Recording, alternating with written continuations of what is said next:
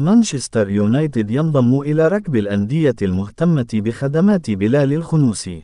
كشفت تقارير إعلامية إنجليزية أن الدولية المغربية، بلال الخنوس، يوجد داخل دائرة اهتمامات نادي مانشستر يونايتد، خلال فترة الانتقالات الشتوية الجارية.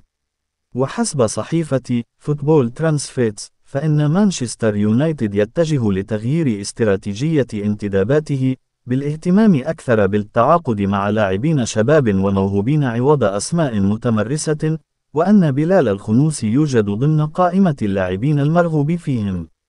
وكانت والدة الخنوس التي تعمل كوكيلة أعماله، قد أشارت في تصريحات صحفية حديثة إلى أنها تلقت العديد من الاتصالات لضم ابنها سواء خلال مرحلة الانتقالات الشتوية الجارية أو الصيفية.